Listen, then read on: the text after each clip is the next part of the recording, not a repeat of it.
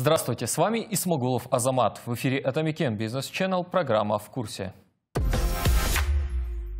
Индекс КОСЕ начинает неделю снижением, достигнув минимальных значений за 8 месяцев. По итогам сегодняшних торгов снижение составило 0,6%. Казахстанский индекс голубых фишек опустился до уровня 2240 пунктов. В минусе закрылись 4 компонента индекса из 7. Наибольшее снижение показали акции Казахтелеком. Коррекция достигла более 2,5%. Долевые инструменты телекоммуникационной компании перешли на низкие нисходящий тренд, снизившись сегодня до уровня 30 700 тенге. Похоже, что после э, того, как акции не смогли пробить уровень 34 тысячи тенге, часть инвесторов решила закрыть свои позиции. Акции Народного банка впервые с 11 октября 2017 года закрылись ниже 100 тенге.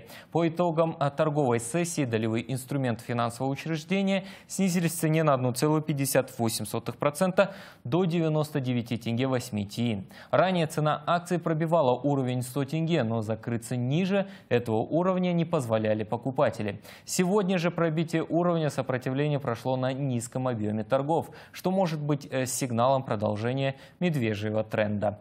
Сегодня на косе Министерство финансов привлекло 51 миллиард тенге, разместив 13-летние облигации под 8,44%. По итогам аукциона было удовлетворено три заявки. Срок до погашения составляет 12 12 лет 8 месяцев. Краткосрочные ставки на рынке денег сегодня выросли. Доходность своп операции с долларом США выросла по однодневным инструментам на 21 базисный пункт до 9,65% годовых. Доходность операции репо с государственными ценными бумагами сроком на один день выросла на 46 базисных пункта до 8,64% годовых. Сегодня Нацбанк вне биржи разместил 7-дневные ноты по ставке 8,10% годовых. Объем размещения достиг 169 миллиардов тенге. Спрос на краткосрочные инструменты был удовлетворен полностью. Среднеизвешенный курс доллара США вырос сегодня на 6 тенге 42 тин до 363 тенге 22 тин. Спрос на американскую валюту остается по-прежнему на высоком уровне. Так, объем торгов на косе по сравнению с пятницей вырос на 64% и достиг 523 миллионов долларов США.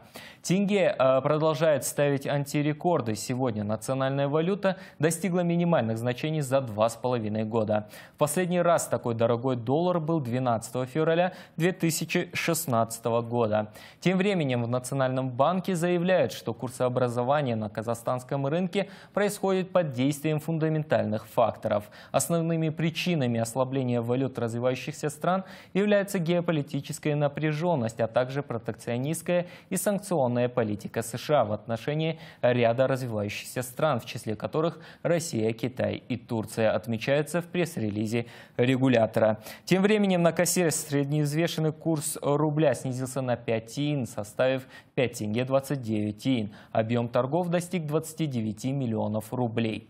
Курс евро подрос до 415 тенге 15 тин. При объеме сделок 150 тысяч евро. Сделок с юанем сегодня на кассе заключено не было. Это была программа «В курсе». Увидимся с вами после следующей торговой сессии.